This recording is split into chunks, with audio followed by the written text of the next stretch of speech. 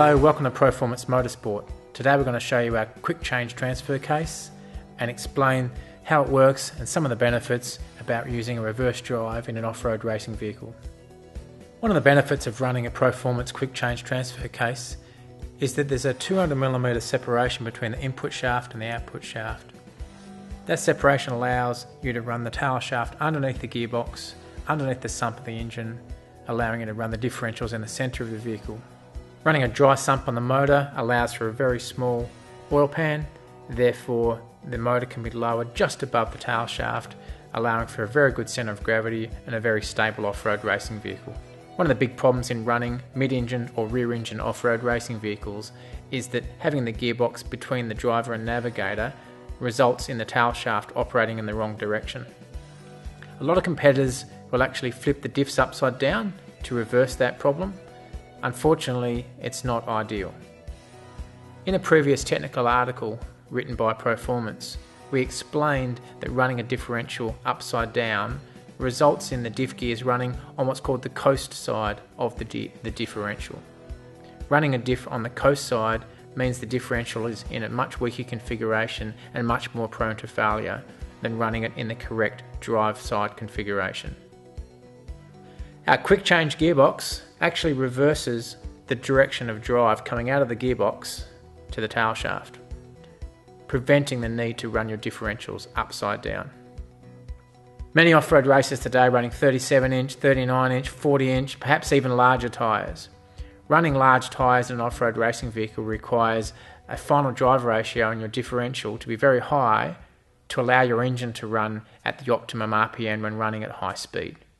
There's no point having a vehicle geared to do 350 kilometers an hour if your tacho is sitting at 2000 RPM in top gear when your motor, when your vehicle's doing 100 miles an hour. To get around that, competitors generally put a very high ratio differential into their off-road racing vehicles, be it two-wheel drive or four-wheel drive. Ratios like 5.88, 6, 6.5 to 1 are pretty common in off-road racing. Unfortunately, high ratio differentials like 5.88, 6 to 1, etc., have a very small pinion diameter and a very small number of teeth on the pinion. Therefore, high ratio differentials are very weak and prone to failure. In addition to the high ratio diff gears providing a very weak diff, they actually provide another problem. They allow the tail shafts to run at incredibly high tail shaft rotational speeds. Tail shaft speeds in excess of 6, 6.5, 7,000 or even higher RPMs are pushing the tail shaft tubes, the slip yokes, the uni joints, all the tail shaft components way beyond the manufacturer's recommend, recommendations. A transfer case runs a 20 to 30% underdrive between the input and the output shaft. This underdrive allows the tail shaft to run at a much lower, more acceptable RPM, allowing you to run a much stronger, larger pinion gear. Somewhere around 4.1, 4.56 is a very, very strong diff combination and will provide you a much more reliable drivetrain. Underdriving your tail shaft and using correct pinion ratios is an absolute must in off road racing. In a four wheel drive vehicle, changing the final drive ratio requires both the front and the rear diff to be re ratioed with the new ring and pinion combination. Changing the diff gear sets is a pretty time consuming job, typically 8 or more hours to strip the differential, clean it, put the new ring and pinion in, set up the backlash, set up the gear mesh, and set up the bearing preloads. It's not something you want to do on a regular basis, and if you're off road racing and having to change the ratios for different tracks to get different top speeds, it's not ideal. Our quick change gearbox, you can actually change the gears very quickly by removing the front cover, sliding the gears out, and changing the final drive ratio in a matter of minutes. We typically recommend customers have a few different sets of gears to allow different top speeds depending on the track you're driving on. Our race truck behind me here actually has three different gear ratios we have top speed of 140, 180, and 220 kilometres an hour. And we change the ratios of the transfer case depending on the terrain we're driving on and the track that we're competing in. There's no point having a vehicle that can do 200 kilometres an hour if the highest speed on the track you can achieve is 160 for that particular day. The idea is to put in the ratio where you can achieve maximum RPM in top gear at any part of the track.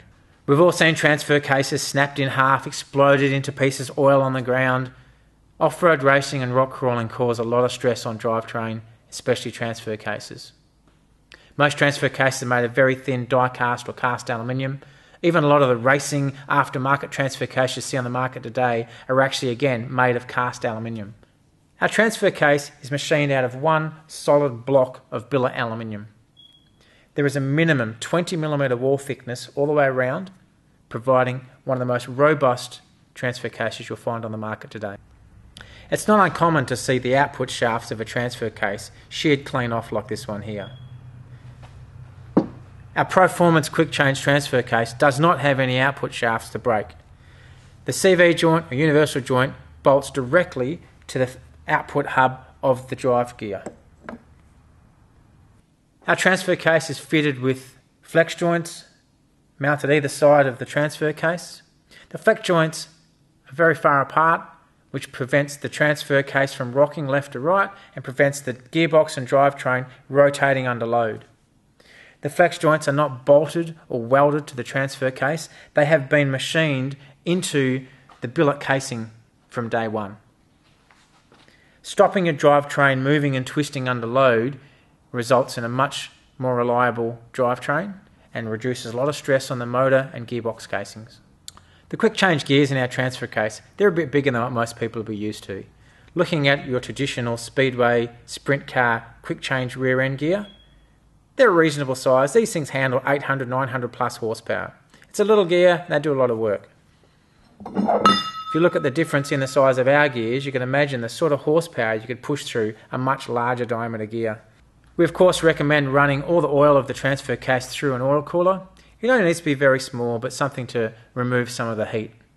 Of course, our transfer case is fitted with oil pickups, scavenge lines, and vent lines, ready for a high performance oil cooler. Taking a look at the bearings in our transfer case, you'll notice they're a little bit larger than what you might find in most transfer cases. The reason they're so large is because we mentioned we're not using any output shafts or spline shafts in our gearbox. Our gears are actually supported by a large diameter spool which sits in these 110mm bearings. We see a lot of highly stressed off-road components manufactured around the world where bearings are mounted directly inside the aluminium carrier or the case or the bearing retainer. At Proformance we do not recommend mounting bearings onto an aluminium surface. Highly stressed off road racing and rock crawling cause the bearings to fret, move back and forth, and sometimes if a bearing fails, it just spins in the housing and your case is completely destroyed. At Proformance, we've chosen to put all of our bearings into 4140 chromoly steel bearing retainers. These bearing retainers bolt in place into the aluminium housing, preventing them from walking, fretting, or coming loose. Should you ever experience a bearing failure in one of our components, the worst it can do is damage the bearing retainer. Having to replace the bearing container is a lot less expensive than having to replace the whole housing of a differential or a transfer case. All of the components we design and manufacture at Proformance have been designed with one thing in mind racing. When you're racing, you need to be able to service our components in a very short amount of time in between stages or should something go wrong. Our components have been designed to be serviced in the field without special presses, without special tools, without any gaskets and sealers, without any glues, the idea is these, these components can be hand assembled, hand stripped, and then put back together. Working on a gearbox or a transfer case in the middle of nowhere when you're competing in, in a race generally results in oil everywhere, a bit of a mess. It's pretty hard to get gaskets and, and silicons to seal without having it completely stripped and perfectly clean, like you would in a workshop. All of our components have been designed with O ring seals on the faces and O ring seals in all of the bores thus preventing the need for gaskets, sealers, and silicons in the field. Pull it apart, do what you need to do, clean the O rings, put them back together. In a matter of minutes, you're back on the track again. In summary, our transfer case is race proven. We've been racing off road vehicles for 25 years. During that time, we've manufactured pretty much nearly every part on our car in house in our own workshop. It was pressure from international competitors asking us to reproduce the products we make for ourselves for other teams around the world. We are a bit of a black sheep team. We do things a little bit differently. If you want to be a bit different and if you want to have some of the best products in the world, give us a call, jump on our Facebook page, or visit us on www.proformance.com.au. We'd be happy to have a talk to you about helping you with your project.